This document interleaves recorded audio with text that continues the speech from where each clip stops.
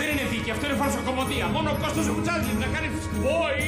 Τι λες παιδάκι μου, μόνος σου θα κάνεις ξυπόι. Κατά βάθος έχεις την ψυχολογία θύματο. Αυτό είναι ένα ιδιαίτερο σύμπλεγμα ταπείνωσης.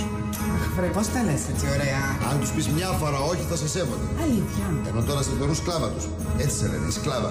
Αλήθεια. Σου είπε ποτέ κανείς τους ευχαριστώ. Κανείς, ποτέ. Είδες, δεν το σκέφτηκες αυτό; Να τον ακούς τον όμηρο. Ναι, ναι, θα τον ακούω. Πες και κανένα, όχι. Ναι. Όχι, γάμο! Συνεδρίασε σήμερα το Ραδιοτηλεοπτικό Συμβούλιο, το οποίο αποφάσισε την αφαίρεση της συχνότητας και αυτή η κοινοποίηση θα σημάνει και το κλείσιμο του σταθμού.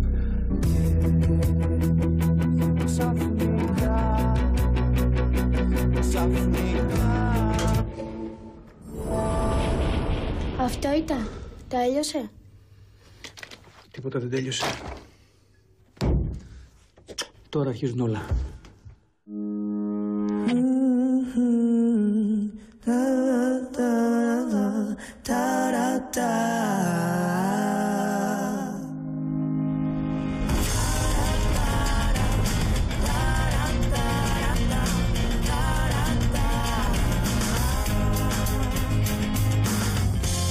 Mega. Mega.